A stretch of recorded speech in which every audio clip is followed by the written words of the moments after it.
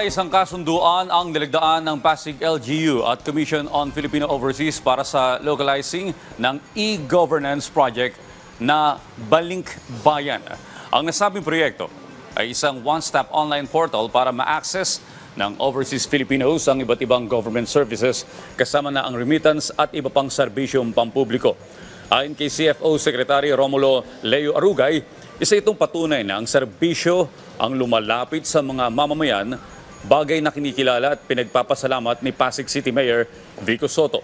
Ani Soto, malaking tulong ito hindi lamang sa mga taga-Pasig kundi maging sa lahat ng mga Pilipinong nasa ibang bansa.